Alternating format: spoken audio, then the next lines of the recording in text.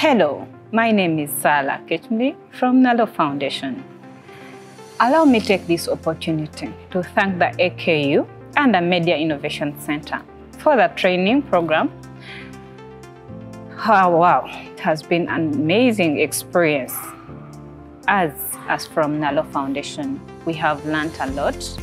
It was fun, full of interaction. All I can say, the trainers understood the assignment.